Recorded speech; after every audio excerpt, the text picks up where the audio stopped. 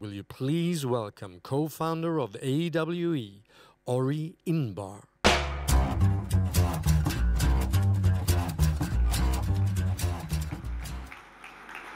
Good morning, Munich, and thank you all for joining AWE Europe 2017. I am in awe. Are you guys feeling awesome yet? Are you? That's it? Come on, let's hear it. It's great to be hosting AWE for the eighth year. Thank you. It's been a great year for AR and VR. This is how it started, AWE back in 2010. You can see how far back the inspiration goes for our superheroes. It's kind of hard to believe it was such a long time ago. So I want to ask you guys, is there anyone in the audience today that has been with us in our very first event? Anyone? I'm sure you're here.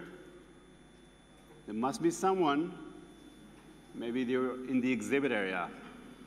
Anyway, for those who have been with us since then, I want to officially welcome you to the AWE Eight Timers Club.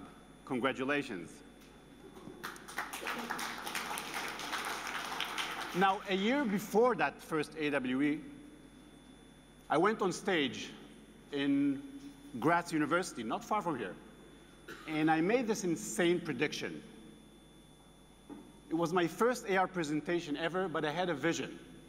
I said, in 10 years, everyone will use AR to experience reality in a more meaningful way in 10 years. That started in 2009, so it's, I guess, 2019, a year depicted in sci-fi movies such as Blade Runner, the original, Akira, Heatseeker, not so great, The Road, pretty good one, and of course, Dopo la caduta di New York.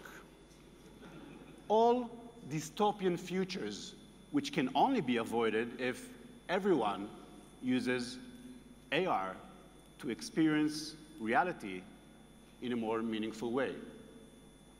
That was the vision back then. And the mission became to nurture a new industry and accelerate it through collaboration. And that's how augmentedreality.org was born as a nonprofit trade organization to help advance AR and later VR.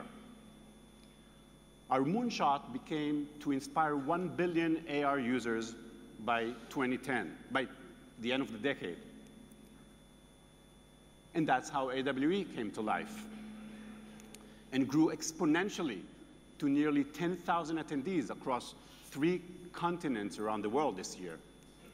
And then in 2015, Super Ventures was born as the first AR fund dedicated for AR. And that encouraged many startups and investors to jump in.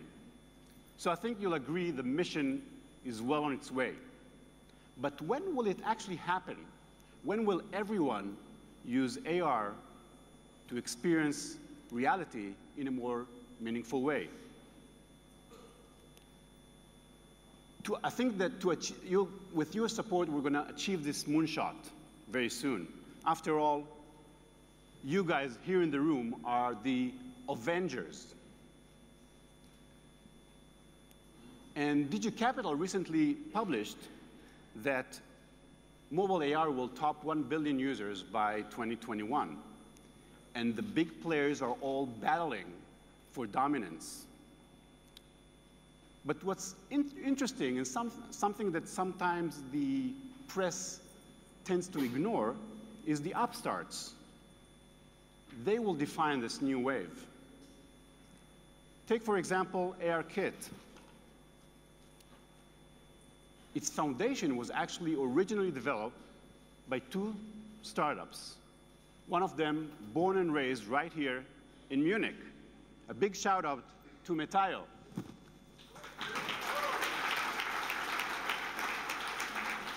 Now check this out. Here are 350 AR startups that are innovating on every single layer of the stack that we published in an AR landscape just in February this year. And this list, list is probably doubled by now. And if you look at VR, there's even more companies on the VR funds VR landscape. The, the new ecosystem is really thriving. So I think if people are asking when, the answer is it's happening right now. And this week, for two days, we're all in awe in Munich to meet 1,500 like-minded professionals. So who's really here? Who are the people sitting next to you? The three key groups that we have assembled together are the startups, corporations, and investors, the triangle that drives the, the, the economy of the industry. But then the designers, the producers, the engineers, the developers, they are actually the people that move the fuel, that move this industry forward. And we've also brought together nearly 100 journalists this week to help amplify the amazing progress of this industry. Most of the people you'll find here are startups. Any startups in the house? Make some noise. That's what I'm talking about. How about women? Do we have women in the audience today? All right. Women are strong in awe. And Fortune 1000 companies that came here to find AR and VR solutions is the fastest growing group at AWE. And I think by the end of this year, every single company will need to have an AR and VR strategy. And it's a very diverse audience coming from 51 countries from all over the world to come here to collaborate and make magic happen. So what kind of roles will you meet here? A big part of you are C-level and executives, the top decision makers, along with a great mix of technical, creative, and management roles. That mix was our guiding principle in crafting the program for you this year. You see, one, a track for each audience. Inspire will be here, and the other tracks will be in the breakout rooms in that direction. Special thanks to Reflekt, an area which helped put together the work track, which is the most popular this year. So now you know who's here. So reach out to the person next to you and say hi.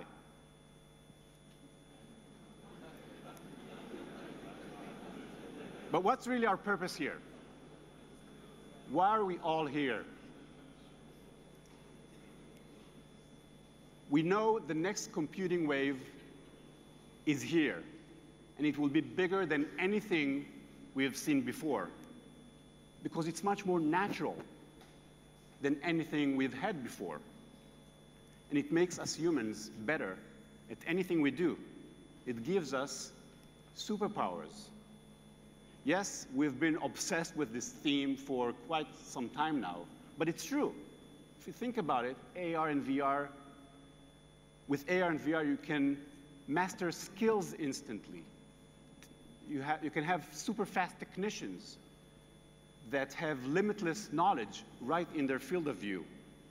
You can manipulate things like designers that use telekinesis, or have body powers like athletes that can continuously improve their performance, and mind powers like retailers that can read their customers' minds, and even superhuman abilities like nurses with X-ray vision and this year, more and more people are getting the taste of these superpowers, and they want more. But some are raising concerns about the risks involved with this technology. Ray Kurzweil has an iconic quote about this. He says, every technology since fire has intertwined promise and peril.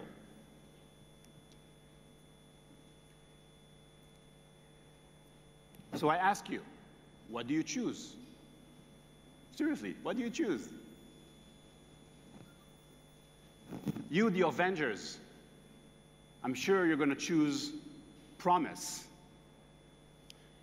So let's use these superpowers to change the world. Seriously, the world is currently facing some big growing pains overpopulation, globalization challenges, inequality, lack of empathy, and of course, dopo la caduta di New York. But we can fight these dystopian futures. As uh, Amy Webb says in her book, The Signals Are Talking, there isn't one predetermined future. There are many possible futures, and it's up to every single one of you to create the future that we want to live in. AR and VR give us the tools to create that future. It can help democratize access to knowledge. Anyone, anywhere, can have access to the world's best information resources and experts right in their field of view. And with the AR and VR can help drive economic growth by improving human productivity and efficiency and help upskill workers whose jobs have been commoditized by automation. With AR and VR, healthcare experts using intelligent computer vision can treat patients in remote areas around the world and lift health levels. And with AR and VR, um, people can collaborate to solve problems as if they were in the same room. And because it can communicate emotions, it can increase empathy around the world. And finally, thanks to AR's and VR's ability to simulate things, we don't have to build so much stuff anymore in reality. We can improve energy consumption and promote sustainability. And here at AWE this week, we have some great beginning of these examples. And by the way, sustainability is not about protecting the environment. Earth is fine, and it will be here long after humans are gone. It's really about protecting our future. Neil Harbisson, you know, the first cyborg, born colorblind and implanted an antenna in the back of his head so he can hear colors, says we should design ourselves instead of designing the environment. What's humanity's number one skill?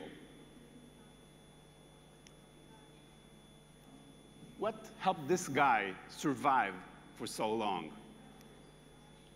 What sets us apart from all living things? I think it's our incredible ability to adapt. From the tallest mountains to the deepest oceans, from the deserts to the Arctics, humans have this incredible um, ability to adapt to anything that is thrown at us. And now, we're taking matters into our own hands. Yuval Harari pontificates in his book Homo Deus that we'll have to bio engineer ourselves in order to transform to the next species. And if you think about it, it's probably inevitable. And Kurzweil predicts that by the 2030s, we'll connect our neocortex to the cloud. And Elon Musk, you know, Elon Musk says we have to bioengineer ourselves or machines will make us obsolete by the time the singularity hits. So in the meantime, before we become cyborgs, we need a little more of augmented reality and virtual reality. So I'm asking the tech gods gods of tech. I stand here before the best, the best audience in the tech kingdom, and I ask you, give us a couple of decades with wearables, with AR and VR, allow us to gradually adapt and evolve through our natural senses by augmenting ourselves externally. Gods of tech, once again, let us enjoy AR, VR, MR, let's just call it in short XR. Let us enjoy it until, say, 2030. Too far? How about 20, 2019, the year AI becomes smarter than humans? How does that sound? All right. It's a deal. And that summarizes the reason we're all here, so that everyone uses XR to experience reality in a more meaningful way. And with you, the Avengers, nothing can stop us in, save, in changing the world. And remember, it's about knowledge, economic growth, health, empathy, and sustainability to the people. Now, before I let you go and change the world, I want to thank our amazing sponsors who helped us make this event possible by lending their funds and their networks and really make a difference. And a special thanks to the state of Bavaria, which invited us to Munich and supported us in this event. So give it up for our sponsors.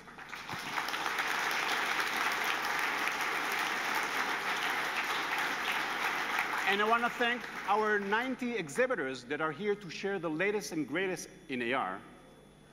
What an amazing collection of companies. And what's really special is the number of Fortune 1000 companies that are here to talk about how they're adopting this technology for, to improve their own businesses.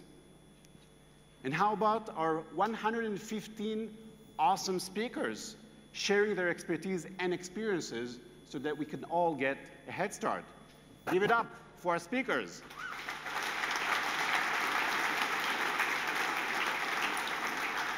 And big thanks to our event partners help, which help spell, uh, spread the gospel in communities all over the world. And finally, put your hands together for the team that put together this event. Give it up for the Super Friends. Thank you, thank you, thank you guys.